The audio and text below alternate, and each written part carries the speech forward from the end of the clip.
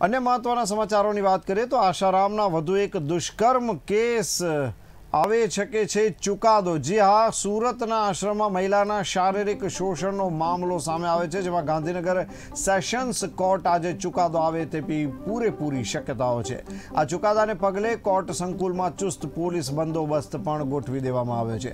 આસારામ અને તેના પુત્ર નારાયણ સ્વામી સામે ફરિયાદ નોંધાવાઈ હતી. ઓગસ્ટ માસમાં આરોપીઓના નિવેદન પણ લેવાયા હતા. આસારામ હાલ જોધપુરની જેલમાં બંધ છે.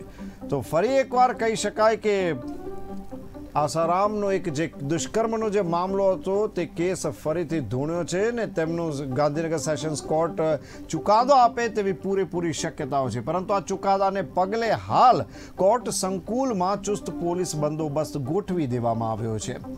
કારણ કે સૌ જાણે છે કે આસારામના જે અનુયાયીઓ છે, તેઓ કંઈ પણ કરી શકે તેમ છે, કોઈ પણ હોહલ્લા મચાવી શકે તેમ છે. તેને પગલે ન્યાય મંદિર, ગાંધીનગર સેશન્સ કોર્ટ જે છે, ત્યાં ચુસ્ત પોલીસ બંદોબસ્ત ગોઠવી દેવામાં આવ્યો છે.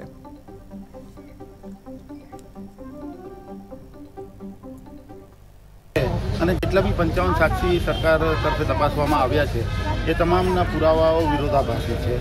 એ કિસ્સામાં બેનિફિટ આરોપીને મળવો જોઈએ એવી અમારી દલીલો. ટોટલ આરોપી. ટોટલ આમાં કેસમાં એફઆઈઆર નોંધી હતી ત્યારે આઠ આરોપી હતા. પણ પોલીસે આઠ આરોપીમાંથી એક આરોપીને સાક્ષી બનાવી દીધો. એટલે સાત આરોપી સામે ચાલે. અને જેટલા બી પંચાવન સાક્ષી સરકાર તરફે તપાસવામાં આવ્યા છે એ તમામના પુરાવાઓ વિરોધાભાસી છે. એ કિસ્સામાં બેનિફિટ આરોપીને મળવો જોઈએ એવી અમારી દલીલો. ટોટલ આરોપી. ટોટલ આમાં કેસમાં એફઆઈઆર નોંધી હતી ત્યારે આઠ આરોપી હતા.